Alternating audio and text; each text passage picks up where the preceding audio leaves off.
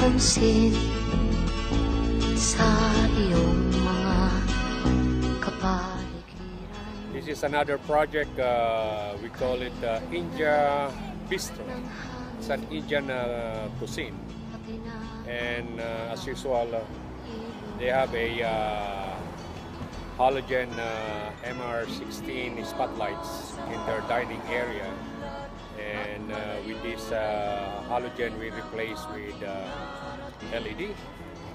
And uh, this is uh, again a uh, city light program. And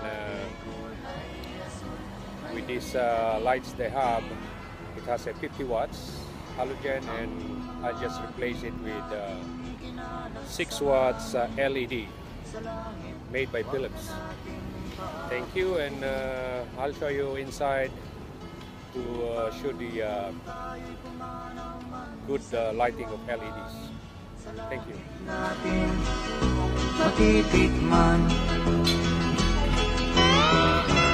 Mayroon lang akong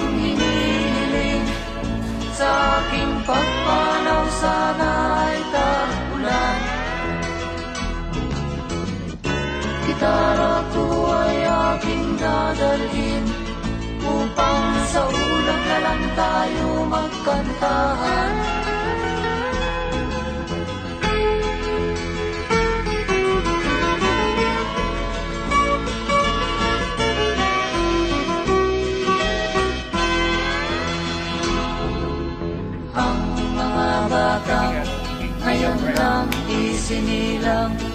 May hangin pa kayang matitikman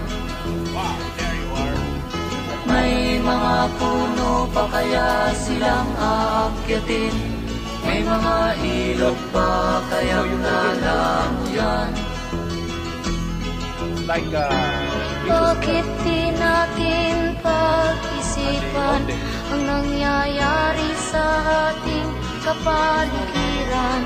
yeah.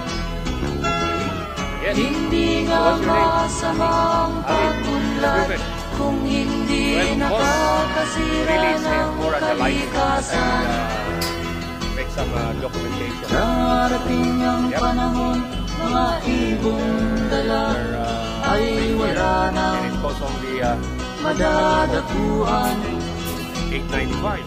Masdan They have a mo Coke ang mga punong This is my dati ay kay katag Kayo'y namamatay dahil sa ating kalukuhan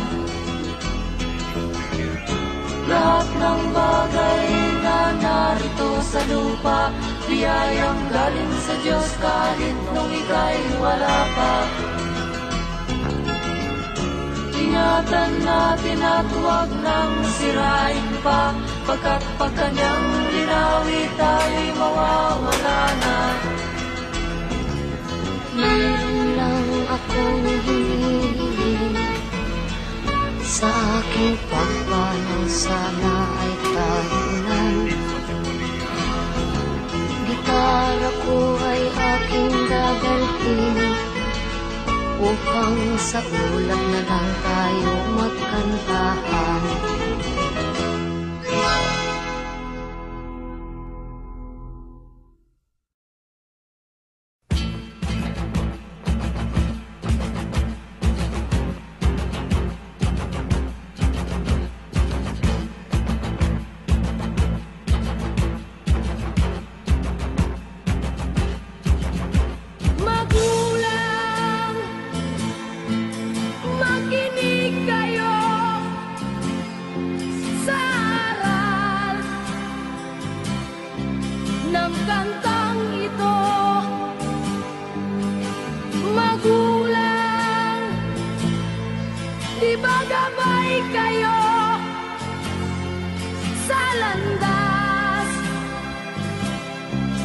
na tinatahak ko?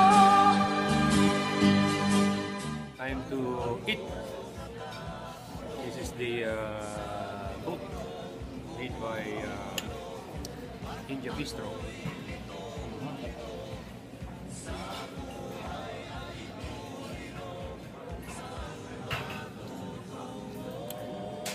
Kasi sarap ng Ilocano uh. Kaya lang, curry.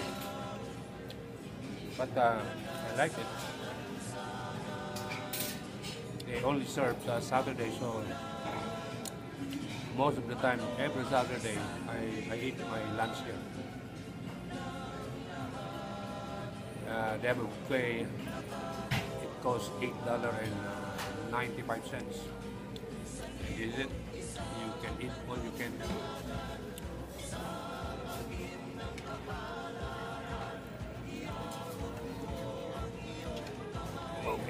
Uh, Ruben and uh, the manager uh, Sujir from India. Uh, I'm here with uh, you know with the LED lights that I installed. Uh, it's over there. The MR16 uh, 50 watts goes down to uh, 6 watts. So Sujir, how do you like your new lights? Yeah, it's very good. And uh, the thing is, light is very bright and less heat consumption. Nothing except the current electricity compared with the other one. How the about other light used to go within like a week or two weeks, but this one it's been like two, three months. It's the same. Like, Of course. haven't seen anyone want that. And the thing is like, they come here, you will come here and install everything, and whenever just there is someone something bad, they fix it.